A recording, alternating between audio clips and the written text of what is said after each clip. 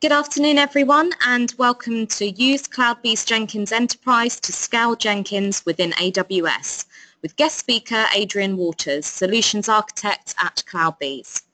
This webinar is hosted by eSynergy Solutions. We specialise in open source and cloud recruitment and help organisations to build great technical teams. Now just for some housekeeping, if you have any questions for Adrian, please fire them over via the questions box and he will answer them at the end of his talk. Please note this session is being recorded and we will send out a copy to you by email tomorrow. Now I'm going to hand over to Adrian to begin his talk. Thank you all for joining.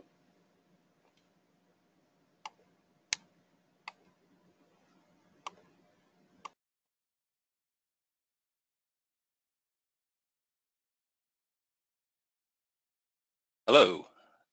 Can uh, can you hear me, Adele?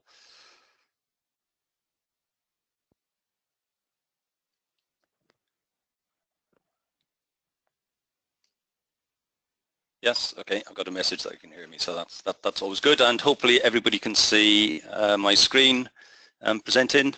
So as uh, Adele has, has, mentioned, my name is Adrian, and I'm a solutions architect at um, CloudBees. And uh, I'm looking forward to basically telling you a bit about CloudBees Jenkins Enterprise, um, um, particularly in relation to AWS, um, over about the next 45 minutes, and uh, sort of hope that you find the session informative and, uh, and useful. So just to have a quick look at what we're going to be um, covering. Um, I'll start with some introductions or an introduction. Um, whilst Jenkins is extremely well known in the market. Um, CloudBees, CloudBees may be uh, new to many of you. So I'll, I'll, start by giving a brief overview of, of who we are and uh, in effect why that qualifies us to you know, be presenting uh, on this, this topic today and, and, delivering the products that we do. Um, we'll then have a look at a bit of background into some typical scenarios experienced by enterprises, uh, enterprises when they try to or attempt to scale um, Jenkins. Uh, and that will give context um, into the sort of later discussions where I'll sort of dive deeper into um, CloudBees Jenkins Enterprise. Um, I'll use the acronym CJE um, rather than keeping on saying CloudBees Jenkins Enterprise, so they are they're one and the same. Um, so we'll be looking at its architecture um, and the, the, features in the context of how those they help you to scale. You know, as well as uh, going on to describe uh, an example of how you could deploy uh, into AWS. This is going to be by no means a, a, deep dive across all aspects of CJE. I'm just going to be looking at you know areas that uh, relate to um, scaling a solution. Um, I'll then uh, take my life in my hands and uh, present a, a, live demonstration. Um, as with live demonstrations, things can go wrong, but hopefully it will all, all work out smoothly today. Uh, and then we'll wrap up with some um, uh, questions. Uh, I'll also be um, putting my contact details up on the final slide. So um, if you think of anything after the event, then um, please do drop me a line and, uh, and get in touch. Um, throughout the presentation, I am having to make a few assumptions about um, your backgrounds and knowledge. So I'm assuming that everybody um, will have some awareness of Jenkins as an open source um, uh, product and uh, also sort of familiarity with some of the other technologies that we're touching today, which include sort of AWS and uh, containerization. Um, if you don't know those in detail, then fine, there's still going to be value in, in the presentation, um, but some of the, the, the, the deeper detail may, may be lost on you.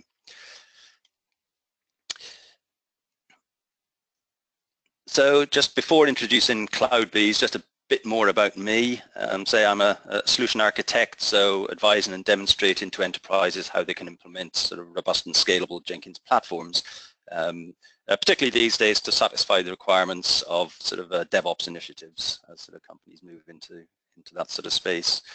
Um, I've worked in the software industry for many, many years, um, most recently within the uh, software configuration management um, space. I'm um, also working the analytics side of things with, with vendors. Um, but I've also spent many years on the other side of the fence, um, uh, in effect involved in all aspects of the development of sort of large scale and mission critical solutions. And uh, have been used in sort of automation and what I say are DevOps principles uh, for many, many years, long before uh, they came to the fore, um, you know, as, as we know them today. So just talking about um, CloudBees, what is our purpose? Well, we, we aim to solve the problems that enterprises will face or are likely to face when they attempt to scale um, Jenkins. Um, Jenkins isn't a typical open source um, project, um, but what it does share with other uh, other sort of uh, open source tools is that uh, it's not really got sort of core capabilities that many larger organizations will require as their systems become more and more mission critical um, to business continuity. So typically as, as usage grows, enterprises are um, you know, looking for a reliable source of information and expert technical assistance uh, when you know, internal teams uh, run out of, uh, out of options. And if you're banking your business on this software running, then you don't want to be you know, relying on Google to you know, find out, well, what, what's the issue when you know, something has gone wrong. And as you scale um, uh, solutions, then security and access control become far more important. Um, you need to sort of uh, adopt compliance and be able to audit against compliance and, and you know, provide traceability.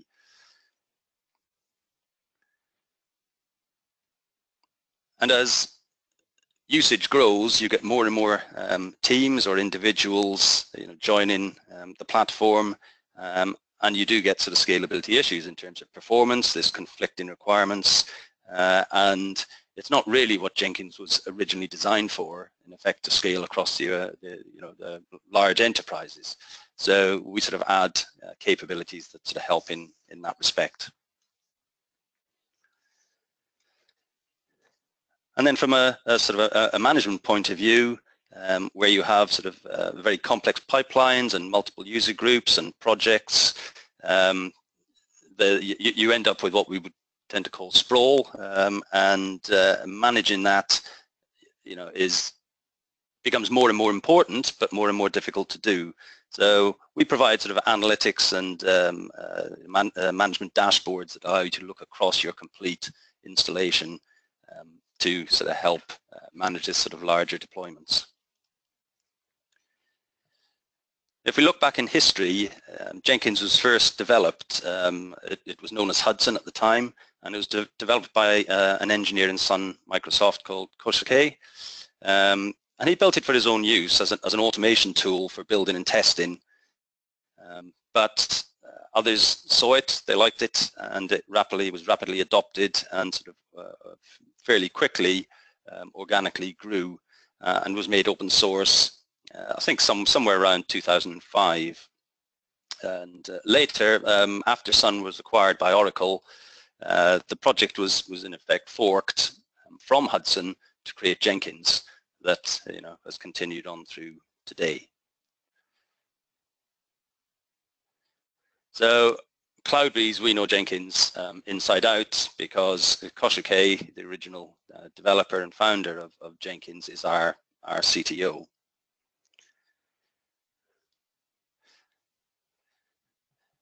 Another sort of fact that isn't well known in the um, you know in the market is that we are committed to to open source and as well as having our commercial offerings which we're going to be talking about today. Um, we also are heavily involved in the open source community and our engineers um, make as the slide says uh, about 80% of the, the the overall commits into the, the community. So within um, within CloudBees we sort of wear two hats to some extent. One is looking at the open source um, side of things, and the second is the, the, the commercial um, products.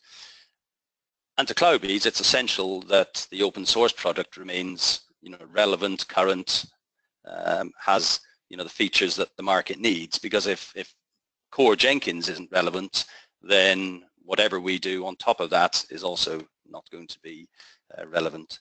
So within CloudBees, um, has a, a, a, team of engineers um, that are, are, dedicated to um, you know, uh, enhancing and moving forward the, the open source product. And if we look back just over the last few years, some of the major initiatives that, that CloudBees have driven, um, you may, may be familiar with these.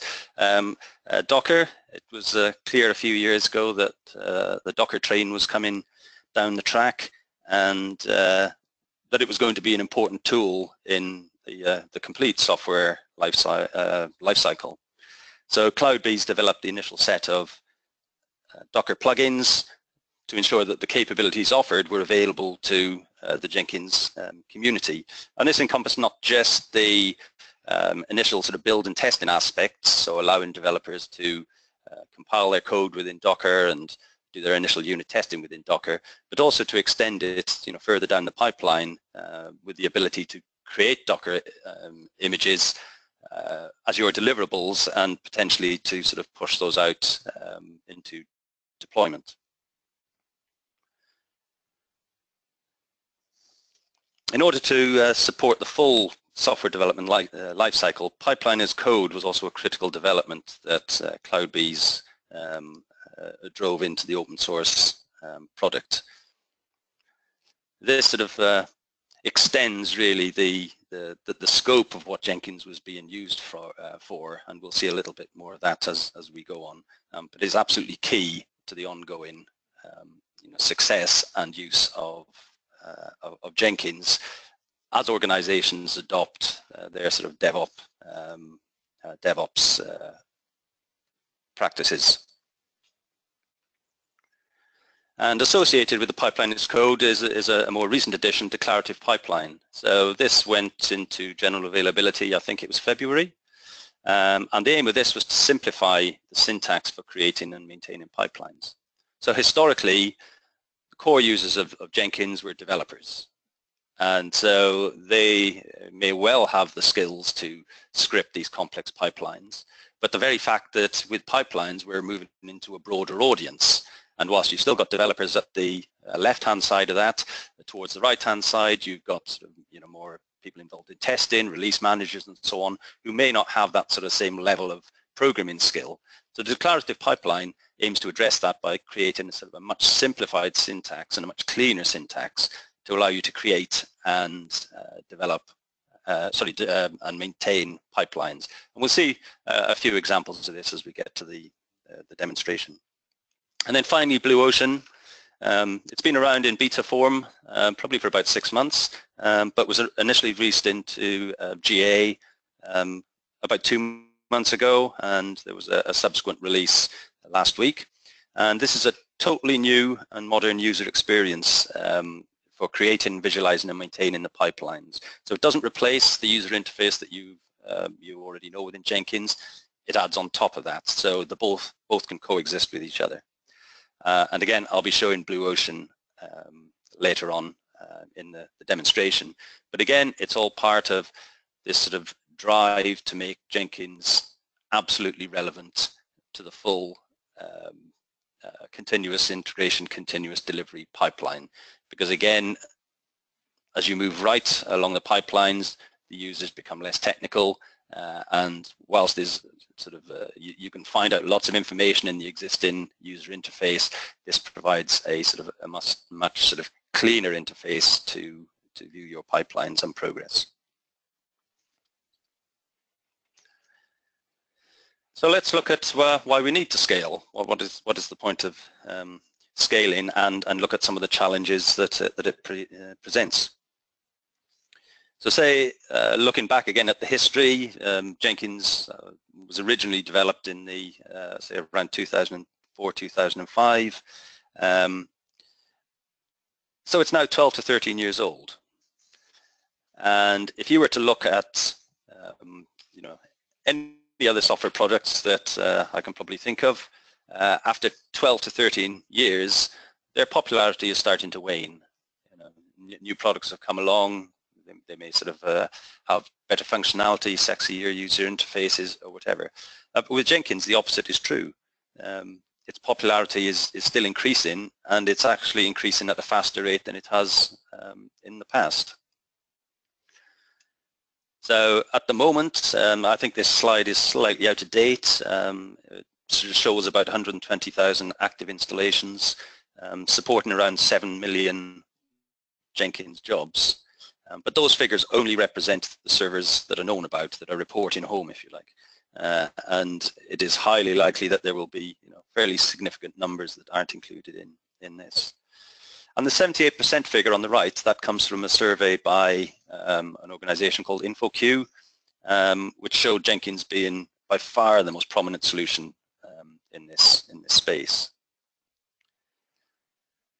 So the popularity is growing, the installations are growing, so where are these installations happening? So some of them will be within new organizations, but, but many will be broadening the use within um, uh, existing or companies that already use um, Jenkins. So they're, they're taking on more and more activities, getting more users involved. So that is one aspect of why we need to look at scaling.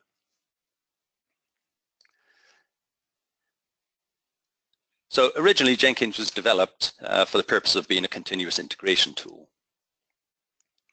And uh, probably in no way could it have been envisaged that it would have taken off as, as it has. So one of the reasons it became popular was uh, the ability to integrate with um, a wide range of products using the, the concept of plugins. Um, back in those days, if you were using any of the common build or test tools, the likelihood was that a, a plugin would exist. Or if it didn't, um, Jenkins provided the mechanism for um, third-party vendors or, or other interested parties to develop a plugin. Uh, and hence the growth of this sort of overall uh, ecosystem that we have today. Then over the last few years, there's been a general market drive towards agile and DevOps practices, um, and that's brought new requirements. Um, organizations undertaking DevOps transformations generally state their prime motivation as being time to market, so speed, speed of delivery. Um, other aspects that come into play, quality and cost and so on, um, but speed is normally the main driver. And so in order to achieve speed through your full pipeline, what, what do you need? Well, you need automation. So um, uh, you need to remove manual uh, manual processes and delays that, that occur across the full life cycle um, to deliver that speed. And Jenkins is excellent at automation. That's what it was designed for.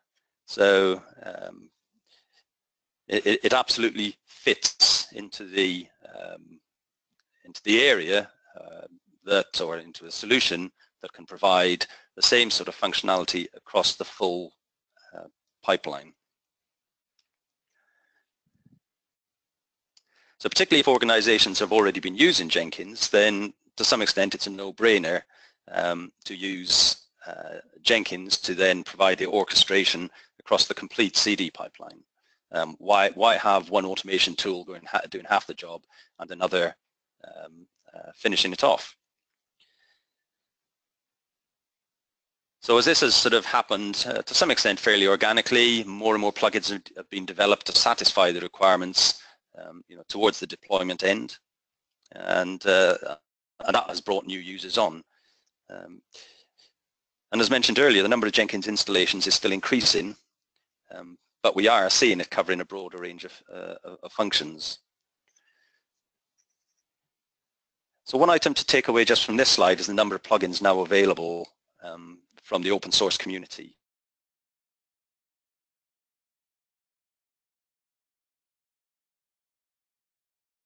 So this provides you know, fantastic integration capabilities um, that no other product can compete with. None of this comes close.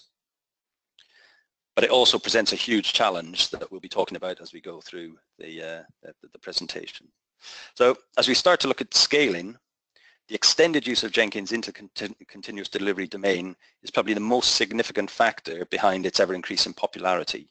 Um, and, and, that has a side effect that it's become more and more mission critical to organizations. So if Jenkins is down, then the delivery pipeline stops, and that's not a place that organizations want to be. So if we look at um, typically how Jenkins um, does um, you know get deployed within organizations and how it how it grows over time we see two two different sort of models and and there's a sort of a hybrid in between and the first of those is what we tend to call the monolithic master and uh, it, it's started out some some point in history that uh, you know a single team or even a developer um, wanted an automation tool. They downloaded Jenkins and they started using it on their laptop or on a, a machine under their desk. Um, they saw great results from it. Their colleagues saw what it was doing, and and they wanted to come on board. So they started sharing the machine, uh, putting their own jobs onto the server, and uh, it continued to grow.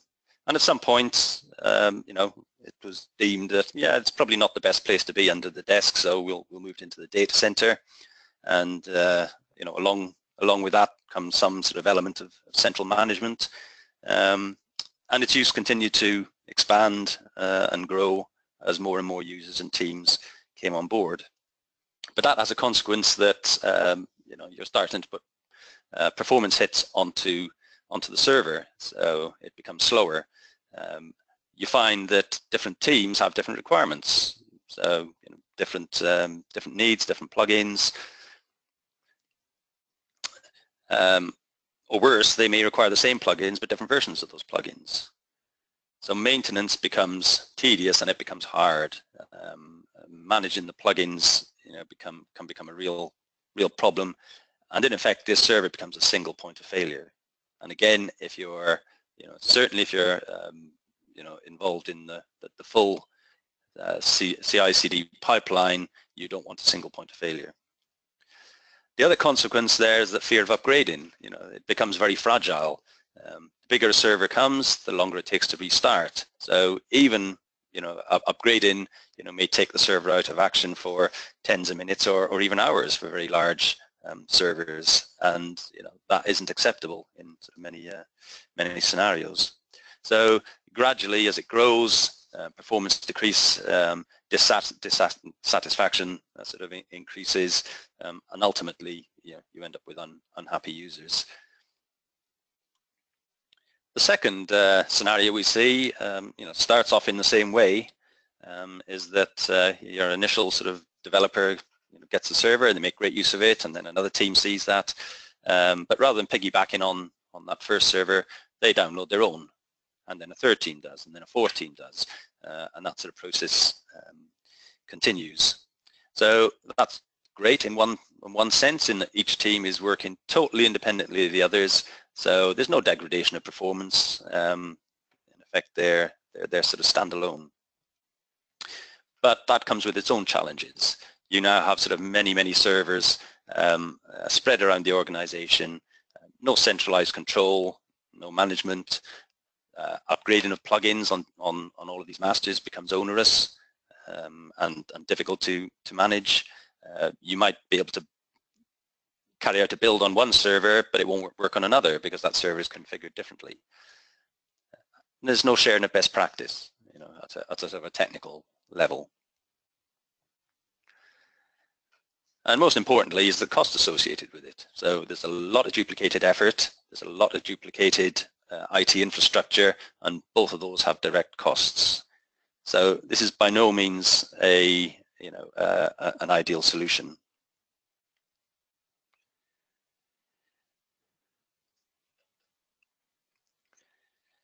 So a core capability of, uh, of Jenkins um, is that you can offload the actual um, build and test activities off the main server onto um, dedicated, what we now call agent um, or node uh, nodes um, that will actually run the builds and they will communicate with the master, you know, tell them yes it's worked or no it's not, and, and, and so on. When you have these isolated teams, um, each will have their own set of um, agent machines um, to, to run their jobs and each team will want to make sure that they have sufficient resources allocated um, to these agents to handle their peak loads. Um, they don't want to wait jobs or have jobs queuing because there isn't resource available.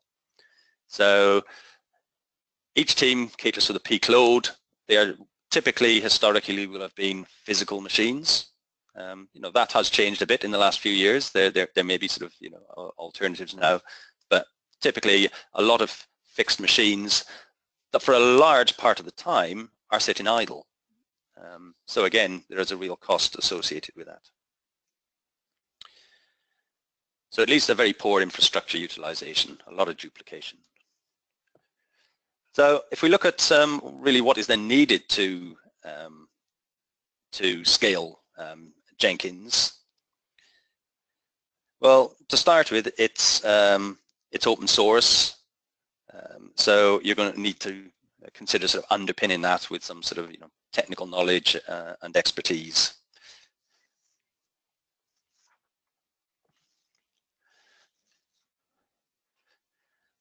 But even with that in place, um, then there are these additional requirements that I've already alluded to. So security and compliance becomes much more important. You've got more users using the system. You need to know what they're doing. You, know, you need to be able to restrict them to, to access access certain parts of the, the system. Um, and even if they can access it, you might want to limit what they can do once they've accessed it. So that becomes sort of a key requirement.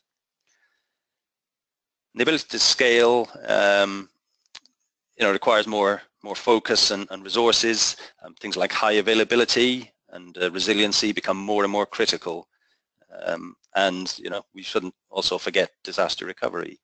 Um, and certainly where you've got lots of disparate machines uh, or disparate Jenkins servers around the place, you know, just keeping on top of that aspect, you know, are they being backed up properly? Are the backups being tested? Um, you know, that, that becomes a, a major, major task in its own right. And of course, as, as you ha sort of have this increased activity uh, and operational efforts, then the need to manage um, the overall systems and gain visibility and control of operations becomes critical. Um, but if you can put all that lot in place, then uh, you are you know, giving yourself a good um, foundation um, from a, a, system point of view to be able to scale successfully and you know um, underpin these sort of DevOps transformations that are that are happening today. So I'll start to talk now, and now a bit more about um, CJE. Um, I'll start off by talking uh, about what we call distributed pipeline architecture, um, or again, I'll abbreviate to DPA. So as mentioned, the main driver for CD is, is typically time to market.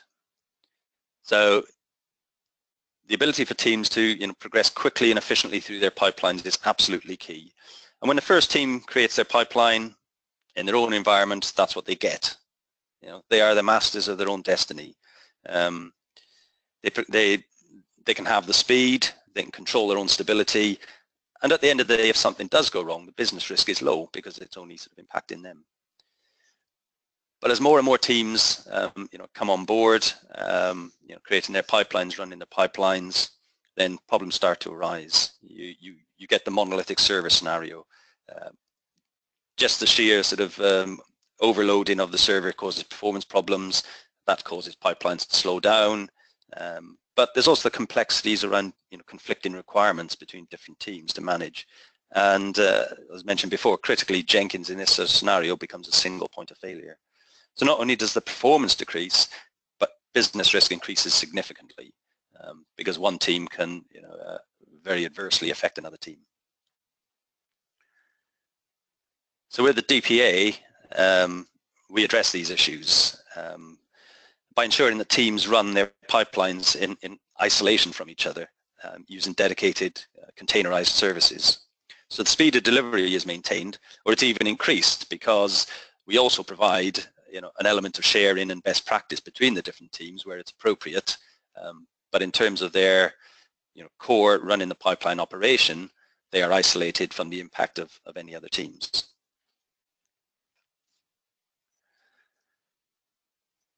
So that mitigates um, business risk as well. You know, it's almost back to the uh, to, to, the initial slide, uh, sorry, the initial team that they only impact themselves because if something goes wrong with their environment, you know, they're, they're isolated and exactly the same applies here. And also critically is that uh, we're removing those single points of failure. Um, so it, uh, it becomes a much more, much more robust and stable platform. But critical to this is that organize, organizations still get the benefit of sort of cross-team management capabilities that CJE provides. Um, without that, it wouldn't work. So looking at some of the key areas, um, the, the, scalability um, within CJE, basically you can grow, uh, you know, add in any number of teams and you can grow those teams to whatever size, uh, obviously subject to the underlying platform's uh, resources and capabilities, but certainly if you're delivering into AWS, then uh, Amazon will quite happily keep throwing resources in your, your direction. Um, but it also does enable you to you know, maximize the efficiency of your infrastructure. So you minimize the actual hardware requirements um, by using sort of this elastic masters and build agents, and I'll, I'll touch a lot more about that um, in a while. Um, in terms of the high availability and resiliency, then CJE basically provides a self-healing capability. So from its own internal monitoring, if it detects that the master has become unhealthy or if it's gone, you know, gone down, it will recover uh, that automatically. Um, and jobs that have been running, you know, pipelines that have been running against that failed master, they will continue independently. And when the new master comes up, um, they will reconnect and carry on. So particularly when you're looking at the, the, the, CD side of things, you know, you're not necessarily talking about, you know, um, five minute compilations or, you know, half an hour unit testing or something anymore. You might be talking about stages in your pipeline that take many hours or, or even days. And you don't want those to be impacted by, you know, something untoward happening on the master. Um, so CJE provides a way of sort of mitigating against those sort of um, issues.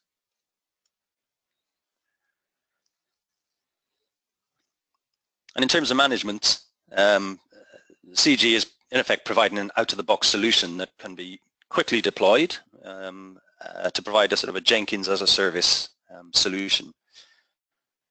It dramatically simplifies the tasks of provisioning um, masters, additional masters and, and agents, uh, which enables rapid onboarding of, of new teams or um, spinning up um, servers for test purposes. And uh, I'll show shortly, you know, how this really goes way beyond, you know, the, the use of um, third-party provisioning tools to to create, you know, new um, standalone masters, um, because these are tightly integrated into the um, whole CJE ecosystem. And I've talked about security and compliance. Um, CloudBees provide a, uh, a very sort of rich role-based access control mechanism um, that allows you to make sure that teams um, only have access to what they should have uh, and then you know can only do uh, what they're allowed to do. So you might have users have access to something but in a read-only capacity whereas other, others are able to, to modify. And then certainly with um, credentials, um, the ability to, to store in effect encrypted uh, credentials in, in vaults, um, we provide flexibility as to how that can be achieved and I'll show that when I come to the demonstration. So let's start looking at the CJE um, architecture. Um, uh, but before going to that slide, just to re-emphasize, you know, that scaling is not just about throwing more hardware or more IT resources uh, at the problem. Um, it, it, it, needs to be robust and it needs these additional areas of functionality to make it, you know, secure, uh, maintainable, um, and so on.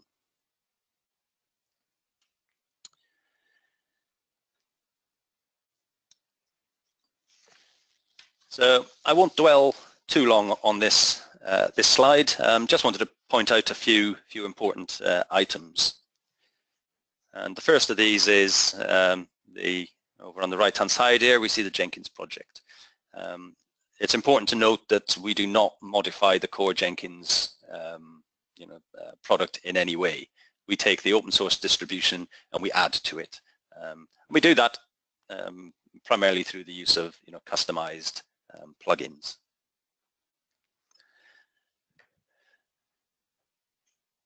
In terms of um, uh, scaling, say one of the major, if you talk to any Jenkins administrator, uh, one of their major you know, headaches is plugin management. And so we provide two, uh, two, two distinct areas that help um, in, that, in that respect. Um, the central one, uh, the verified uh, open source plugins, it's an in initiative that uh, CloudBees started probably about six months ago. We call it our CloudBees Assurance Program. And what we're doing is, is identifying the, um, the most common uh, and core open source plugins.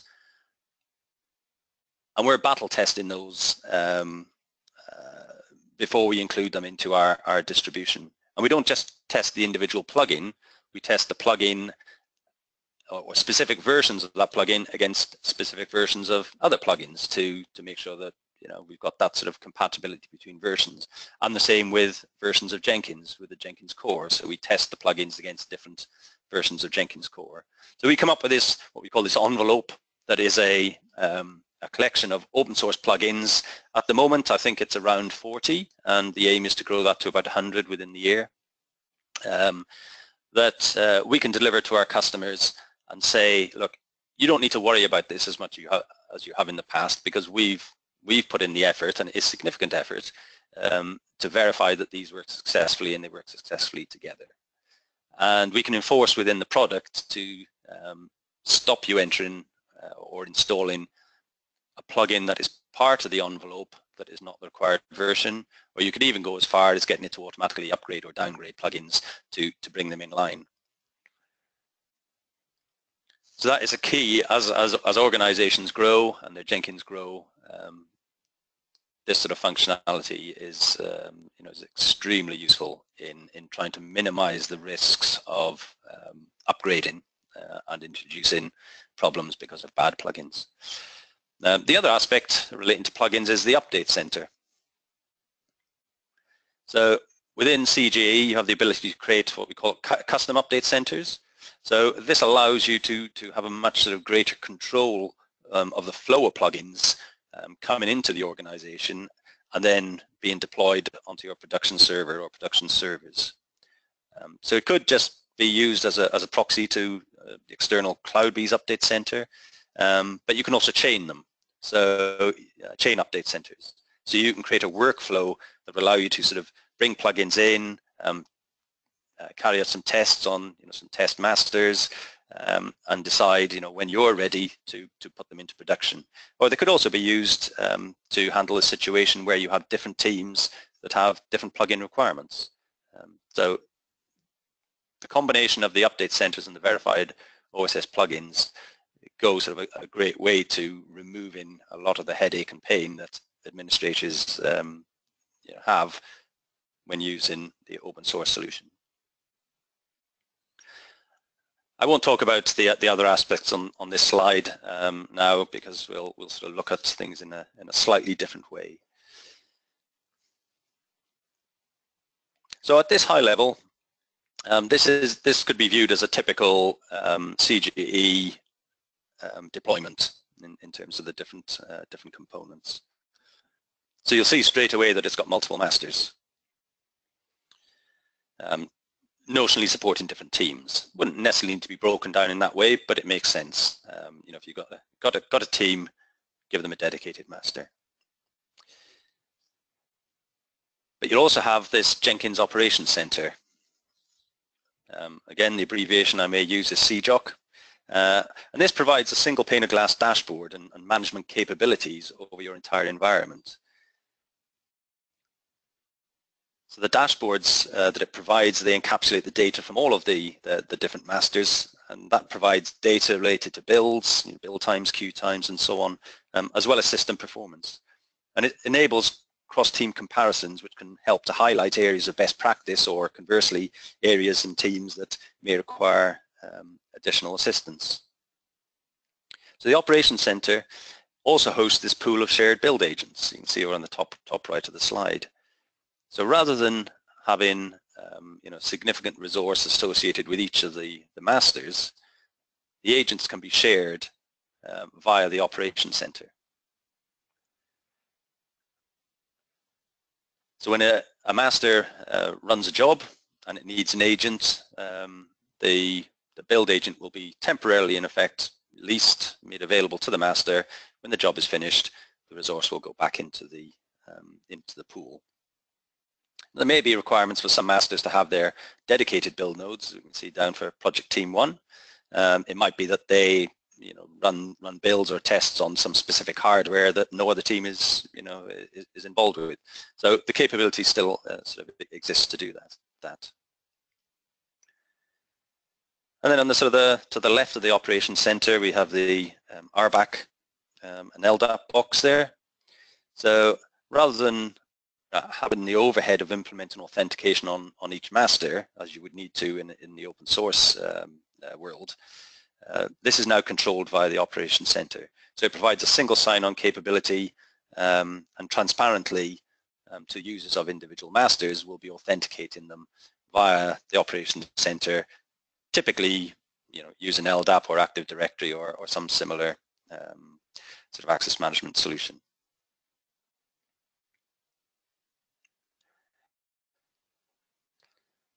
Once a user is authenticated, that is basically saying, you know, user Fred is now allowed to access this particular master. The role-based access control, that then ties down and defines what that user is going to be able to do. And again, we'll see that in a little bit later on. Uh, and then the final point on this slide is the update center. So um, up in the top left there, um, this shows an update center that is has got an upstream source of, in this case, the open source uh, update center, um, and uh, the, the operation center will then control the publication of, of um, plugins that have come in to the custom update, update center through to the, uh, the masters below. So an alternative um, view of the infrastructure. It's represented slightly differently, but you can see um, a relationship with the previous diagram in that we have the operations center component, we've got a number of Jenkins masters, and we've got a pool of Jenkins agents for running your jobs and pipelines. But there are also some additional elements to this uh, diagram, um, in particular looking at the resource management tier and the control tier uh, and storage element. So irrespective of whether you're develop, uh, deploying to AWS or OpenStack or VMware or even bare metal, um, CJE is, is implemented as a cluster of components to which a large extent it's, it's a black box um, that is managed by the software that, um, that we provide and you don't really need to know too much about what's going on inside it. Um, and once the cluster is installed, it's um, pretty transparent as to whether it's deployed onto AWS or um, bare metal. The, the actual, so the, the, cluster itself and the management of that um, is virtually the same um, in all scenarios. So if you're familiar with Docker at all, then you will probably have spotted the logo um, in each of the master and agent box and the operation centers that gives the game away a bit that CGA, CJE is using Docker extensively as part of um, CJE cluster. So the operation center runs uh, within a Docker container, as do each of the individual masters, uh, and as do the, uh, the agents. So this provides the team isolation benefits that we talked about earlier, uh, as well as self, self-healing capabilities. So if a master becomes um, unhealthy, the control processes will detect that and automatically spin up a replacement. Uh, and as mentioned before, the running pipelines will then reconnect to that replacement master. Now in terms of agents, um, in effect the cluster provides a pool of resources to be used for running jobs, but the agents are ephemeral. And by that I mean that they don't exist until they're required by a job, at which point a Docker uh, container is created, it runs the job, and at completion the Docker, Docker container is shut down, freeing that resource back to the pool. So this makes for a highly efficient use of, of your you know, compute resources, minimizing the sort of overall resource that you would need to you know, allocate um, uh, or be provisioned for the pool. And if you consider that with the earlier scenario where sort of each team would need to have sufficient agent resources, likely to be physical machines, then uh, you're you know, in a completely different um, ballpark. And with the aim of providing Jenkins as a service, um, uh, once the cluster has been provisioned, and it would be typically some sort of shared services team that would be doing that, then it becomes a simple, um, quick task to onboard a new team. In effect, um, from a technical point of view, it's spinning up a new Docker container. Um,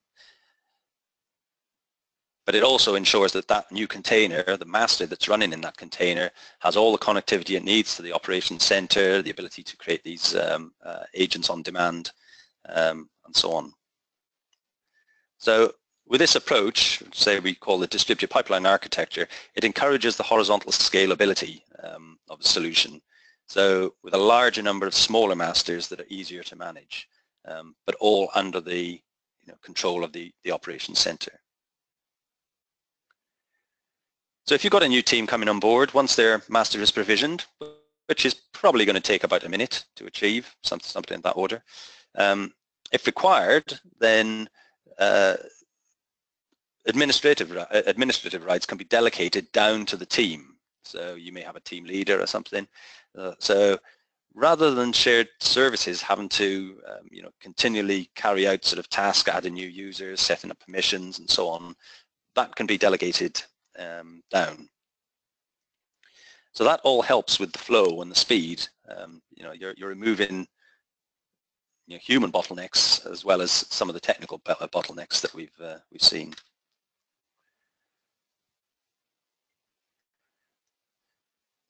So final architecture slide, which again is a slightly, again, a different representation, um, but it's showing some different information.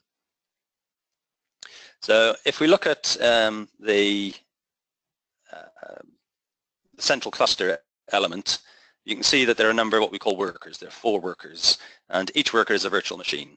So um, on AWS, it will be an EC2 instance. And in this case, we've got two uh, workers allocated for masters, and we've got two alloc uh, work, uh, sorry, VMs allocated for agents. So those numbers are arbitrary, and they would totally depend on your overall scaling and size. Um, and clearly, they can change over time. So you know, if you find that you you you need more resource, well, you can just allocate another VM into the cluster, and uh, CJE will start using it.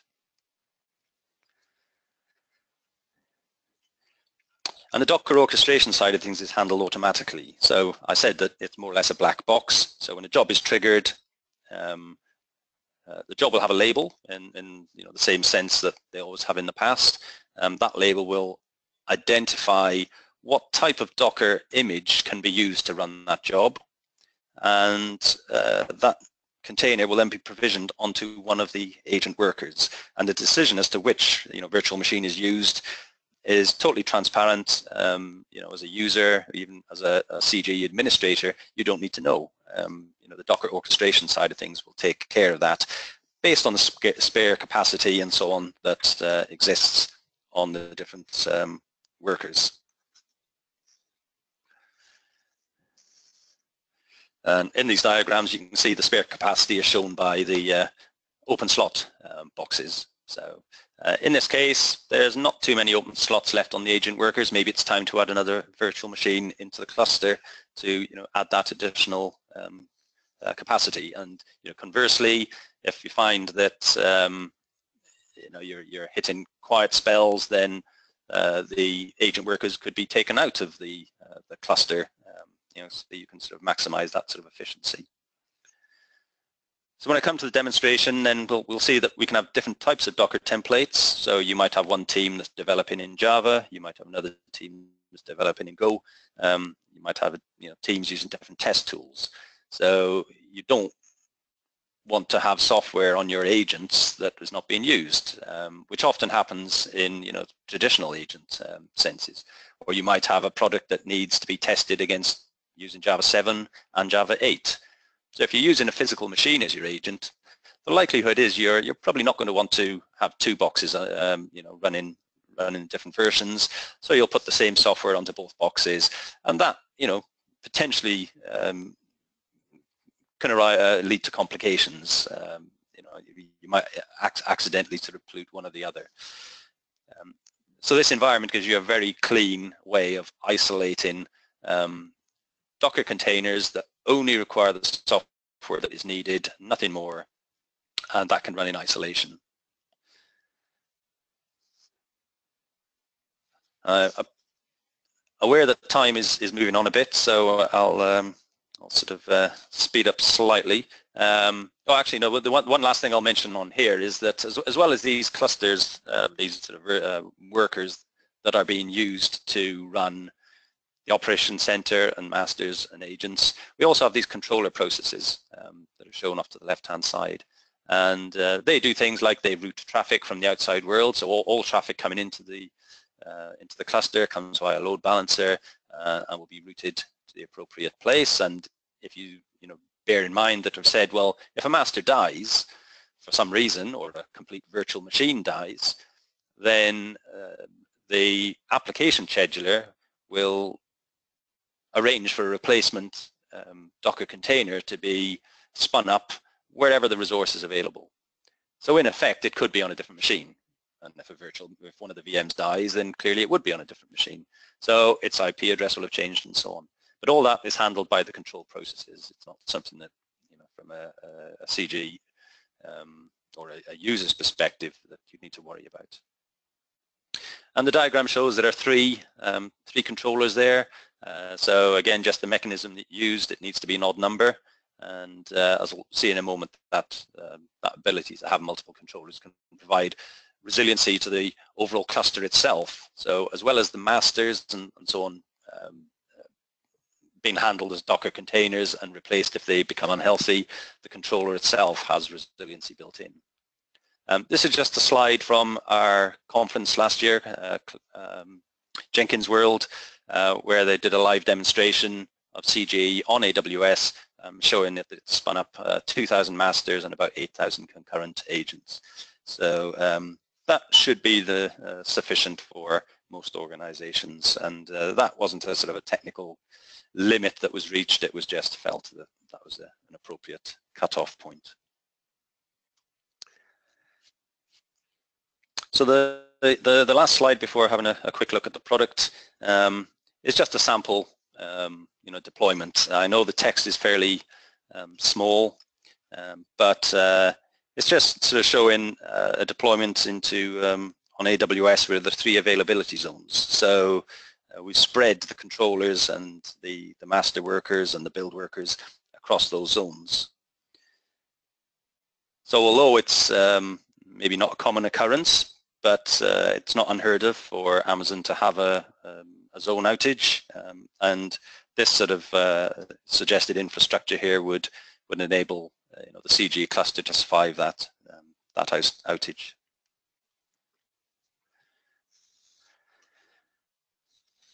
Okay, so I'll, I'll now go into um, demonstration mode. Bear with me a second.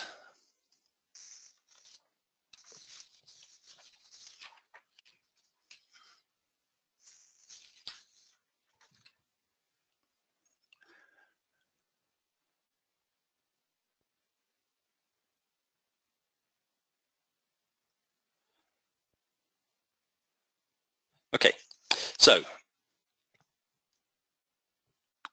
you can see my screen there. So uh, this is um, the uh, operation center. Um, if you're familiar with Jenkins, uh, you will think, well, this looks very sim similar to Jenkins, and in effect, it is. It is Jenkins. So the operations center, although it has this sort of very important role of managing all these other resources, it is actually Jenkins itself. It's just it's customized by some uh, you know, proprietary plugins that, that CloudBees um, have developed. So the look and feel uh, should be common um, or familiar to you.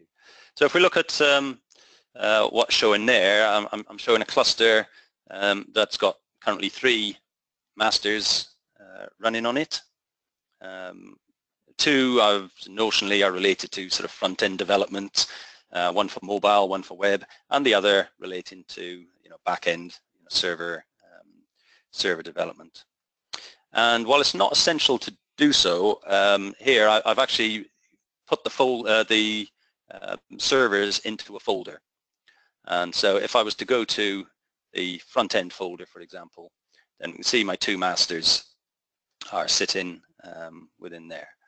And the reason for doing that, or one of, one of the reasons for doing that, is, is that it makes it very easy to apply certain um, roles or credentials and so on at the folder level that will then be automatically inherited by any of the masters and folders beneath that, that point. So in this example, if I look at credentials, um, then I've got some credentials here that are scoped just to this folder. Um, so the, the, the, this would allow jobs to be created on either of those masters that can use these um, credentials but elsewhere on the other masters uh, and so on, they wouldn't be available. And uh, the same sort of applies to, um, to roles.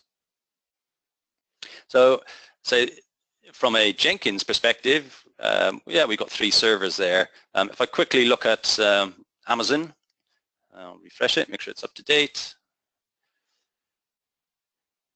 then we can see we've actually got um, five EC2 instances um, that in effect are, are under, underpinning this, this current cluster.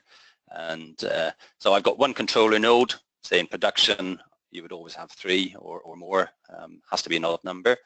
And I've got um, uh, four other uh, virtual machines that are running workers. Now I can't tell from Amazon, it doesn't know whether they're for running masters or whether they're for running agents, um, but it's just showing what's sort of running, uh, running up there.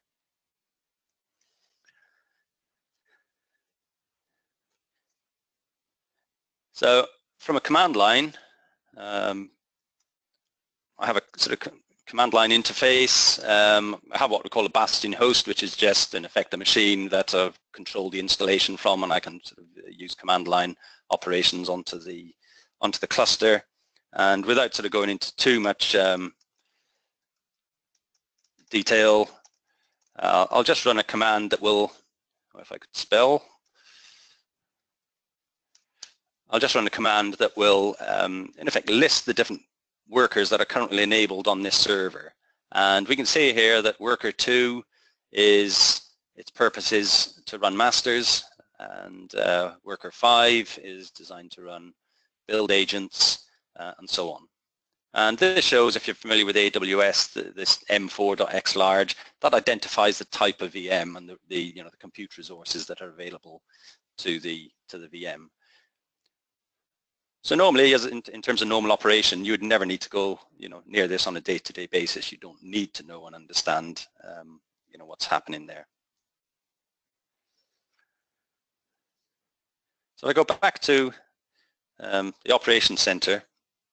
Then uh, I've talked a bit about credentials. So at, at a, a, global level, at the operations center level, I have a number of different uh, credentials defined. So there are things like, you know, access to my GitHub account or to my Docker Hub account or for interface into HipChat and, uh, and so on. So these credentials from the operations center will be available to you know, any of the masters on the server. So this is where you would put the global global credentials.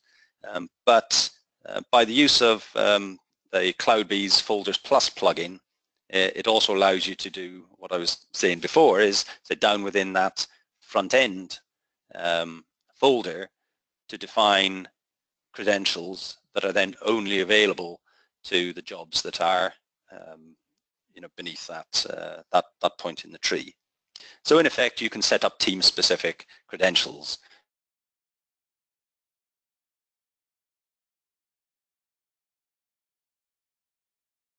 is the roles. So this is associated with the RBAC, the role-based access control. So roles are defined at the operations center level. Um, these are they're arbitrary by name. Um, you can create as many roles as you want, and for any particular role, you would then select which you know specific permissions that role should have. So in effect, in this in this case, this saying, well, we've got a role called develop, and the, the checkbox is over to the right. That is saying this is, if, if somebody is a developer, these are the capabilities, the things that we expect them to be able to do. So for example, um, build a job, you know, create a job, and so on.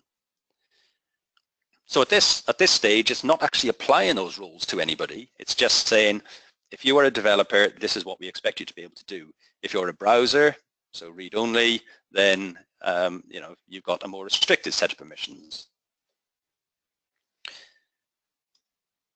So that's defined at the operations center level, and those roles then become available to you know all of the uh, the masters, and you can decide then on a team by team basis or um, even a folder folder basis or even an individual job basis to say you know I want somebody with um, you know develop permission to have access to this this particular folder. So you can grant permissions in that way.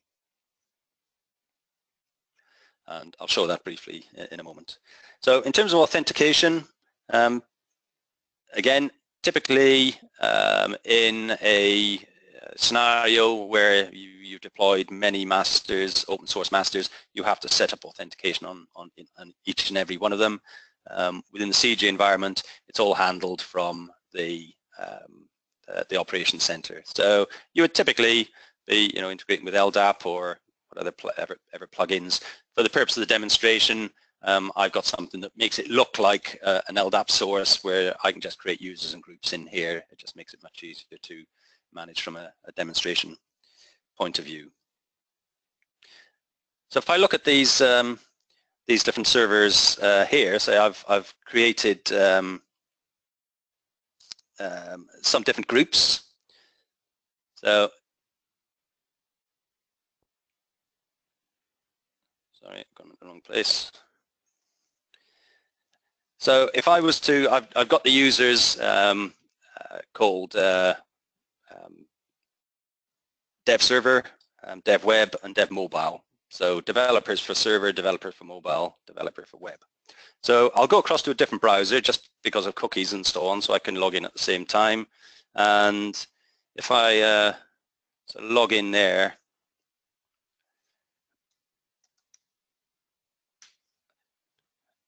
sorry, uh, I'll log in as dev server. I'm not sure I got that URL right, so let me just double check before I, oh no, that's okay.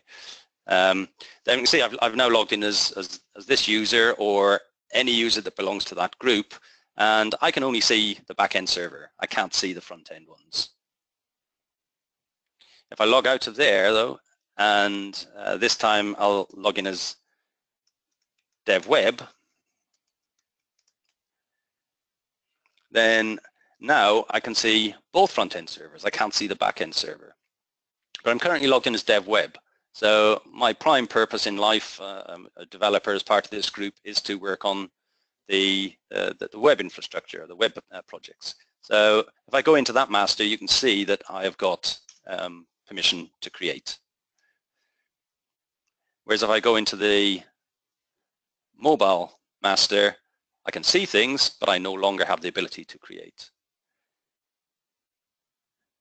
So using RBAC, we're able to sort of you know implement that sort of fine-grained um, granularity to um, you know impose those those sort of rules. So I won't go into the full detail of how it's uh, how I've done it, but um, here within the mobile group, um, I've said there's a group called mobile developers and DevMobile is a member of that group. And if I look at that, that particular uh, group, you can see the permissions that it's got um, includes all these create and so on. So we've associated a role with that particular, um, that group.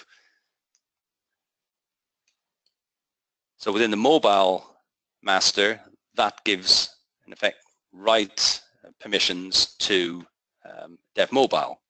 But at the higher level, the groups that created there, front-end users, they only have read permission. So that's why the user dev web only had read permission in the um, mobile master, but has write permission in um, the webmaster. Hopefully that's not too confusing, but uh, in terms of how it's done, but hopefully you, you get the, uh, the principle. And say we could also add credentials within either the folder or to a, a, particular master to tie down what that user can, can do. So we say one of the things about scaling is you want speed. You want to say, well, I've got a new team coming on board. Um, you know, gone are the days when I need to submit that ticket to get the uh, the new virtual machine uh, to run my master, and I have to wait sort of uh, you know a day, a week, a month for that virtual machine to be be provisioned. Um, we put in the request and um, uh, we can sort of get going pretty quickly. So I'll, I'll say that that's happened. The shared services team, they've got a requirement um, to add uh, a new team that's developing API software. And we select uh, what we call a managed master. So that is one of these masters that is running as part of the cluster and it's being managed directly by the operations center. So if I hit OK, then it allows me some uh, configuration options. Um, one of the key ones is Docker image. So whenever CloudBees now um, produce release of software, um, as well as the normal sort of uh, you know war file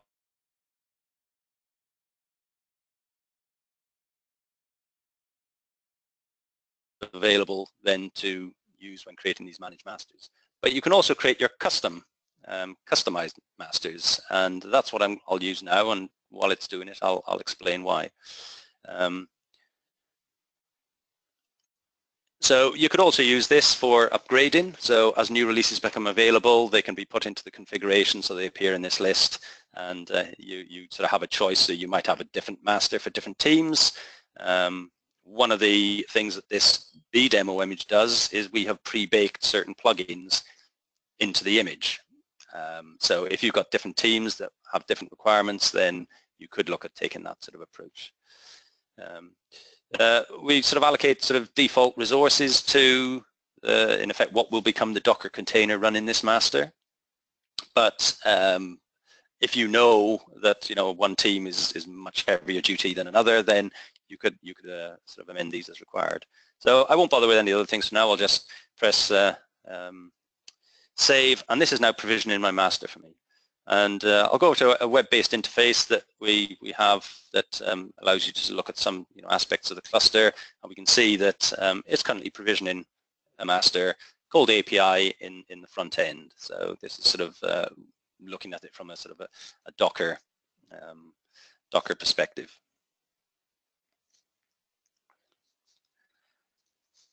So let's say it takes about a minute um, probably for it to, um, to come up.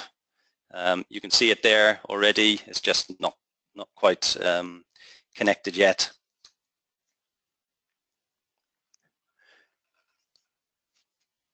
And I can even look at that um, down from the command line if I so wish. I can sort of log into those containers and uh, in, into the workers and see those containers um, running. I suspect it's got there. It probably just hasn't quite refreshed as yet. Okay, so it's up and running. It, it's alive. Um, so all of the authentication for now using that server and so on is already in place. That's great. And uh, if I want to, say I now might delegate responsibility for um, for handling this master away from the shared services team down to um, sort of a, a, team leader. So I'll call it API team team lead.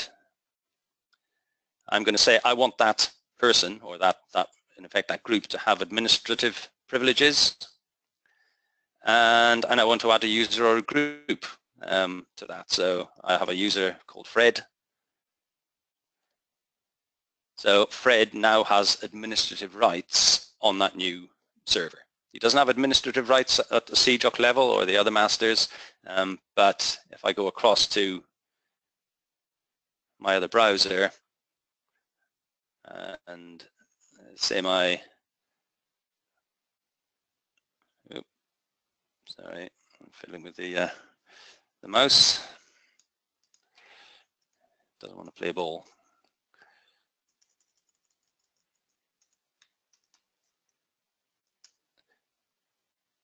What did I do wrong there? Ah, dot. Okay, so I'll log in as Fred.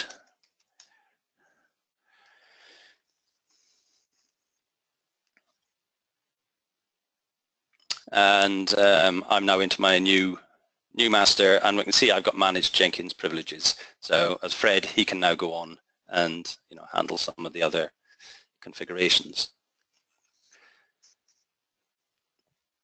So I mentioned Blue Ocean earlier. Actually, no, before I go into Blue Ocean, um, these agent templates. So I've said when you run a job, it will look to find the appropriate agent um, to use. And these are just templates. So these are standard ones that we provide. You can add your own. You can create your own um, custom templates that have the software that you need to do your builds or to do your testing and so on. So um, there's some sort of vanilla Docker um, agents there. And we can see we've got um, you know two different variants of um, uh, Java. Uh, so if we want a job to run to be tested with JDK 7, fine, it'll use that the, that container. Otherwise, it will, it will use that one. So if I go into Blue Ocean,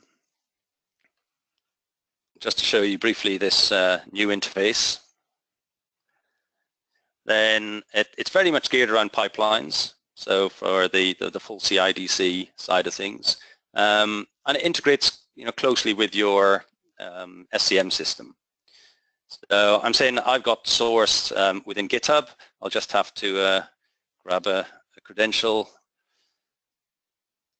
token to access uh, my repos and I'll say I'll use this one.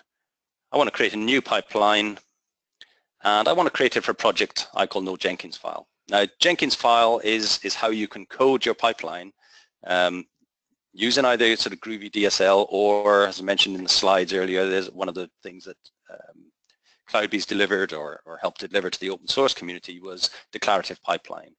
Um, so that script can be stored in a file in your repository. And if, it's, if it exists, it can be used um, in effect to build your pipeline within Jenkins. So I'm deliberately pointing this at a repo that doesn't have a Jenkins file. So there's no pipeline created. Uh, it, it, doesn't exist. This is a brand new project. Uh, we put this, we've got the source code in our Git repo, um, but we haven't yet created a pipeline for it.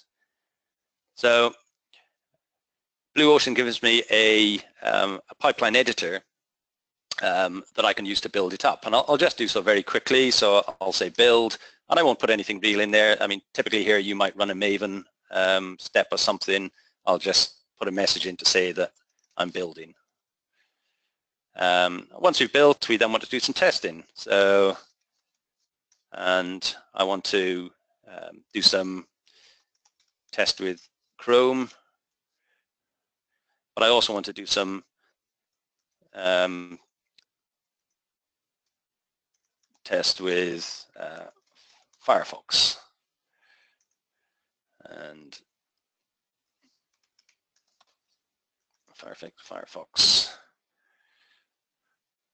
I didn't, uh, okay, so Chrome.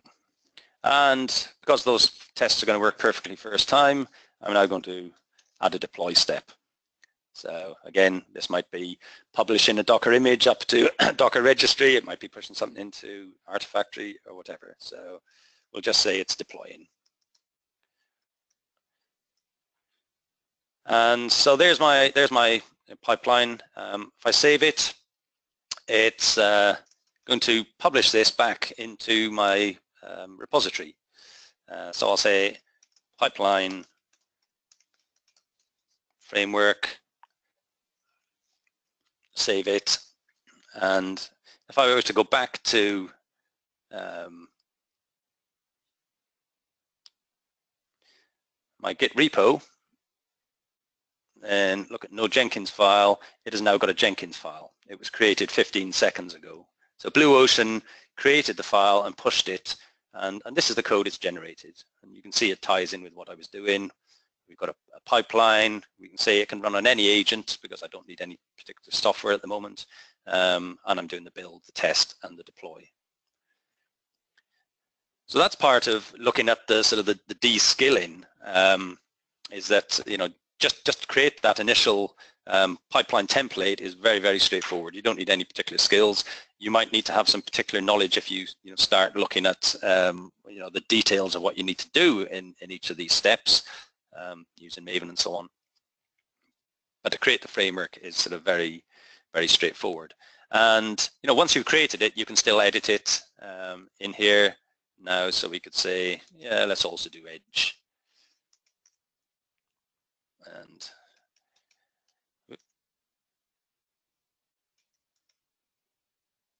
and that will, you know, again, round, round loop it, it will then save that back to the um, uh, back to the repository.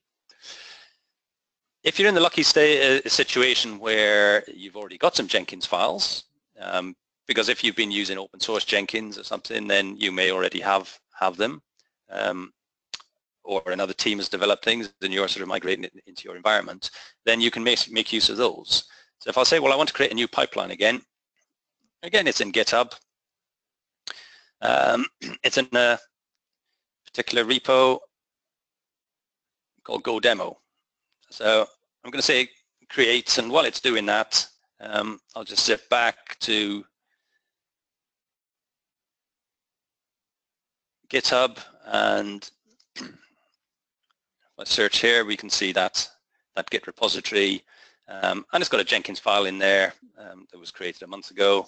And if we look at it again, it is this sort of pipeline code and uh, don't worry about the detail of exactly what it's doing. This is sort of um, uh, doing things. It's actually creating Docker containers that will be then pushed Docker Hub at the end. So it's sort of quite advanced. Um, uh, but the principle is that this code is this declarative pipeline code is in your SCM system alongside the application code and uh, it is being used to dynamically create um, the pipeline for you. Now this will take a good few minutes to run so I won't necessarily you know, see that through but I just wanted to sort of show it as a, as a principle. So in effect, you know, with, with very little time there, we've created a, a new master, we've delegated authority, administrative rights to a user, um, and then we're sort of instantly able to start um, running um, uh, pipelines that are using this dynamic pool of, um, of Docker agents. Um, I'll just show that one last thing before going back to the slides. So if I was to say um, uh, list workers. So without without going elsewhere, I don't know for definite which build agent this job is currently running on, but we'll we'll try worker worker five to start with. So I'm now logged on to the virtual machine in the cluster up in AWS.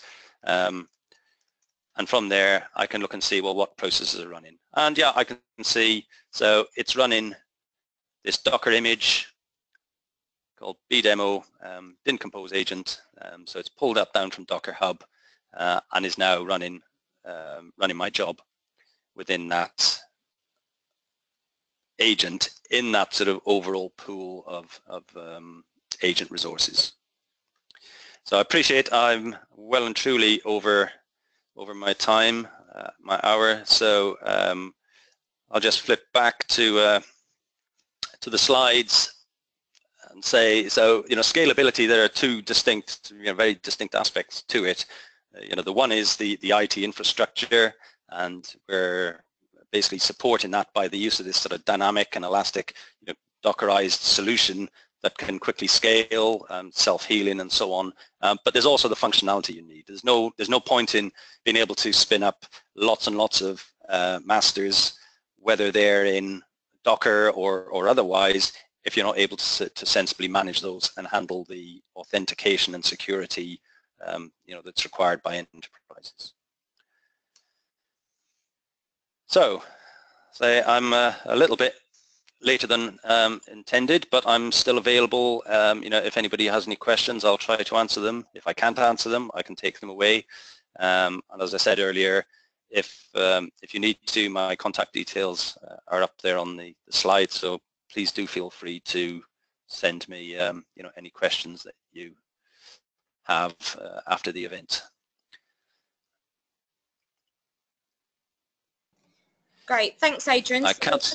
We'll just have a couple of moments now just to see if any questions come through um, and then okay.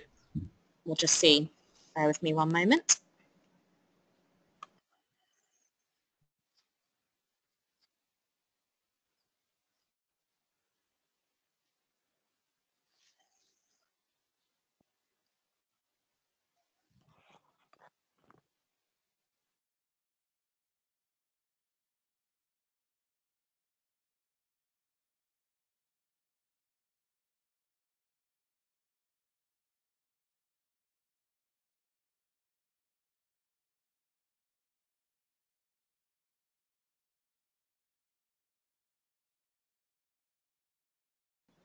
Okay, we have got one question, Adrian, that has come through. If you can have a look at that.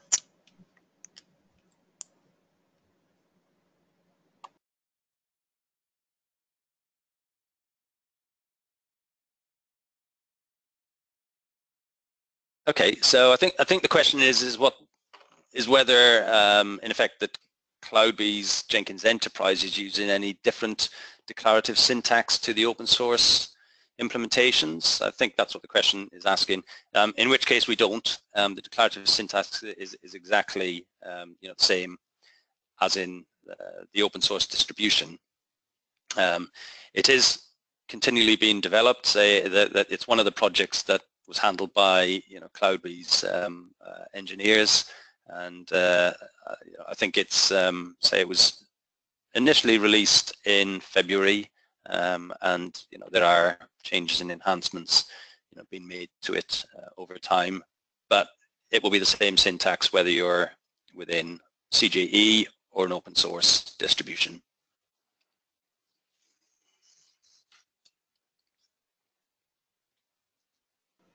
Great. Thank you very much, Adrian. I think that's all for questions at this time, but obviously you have put your email address down there, so we will be sending out the um, recording. So if anyone does have any further questions, um, it will contain your email address and they can reach out directly.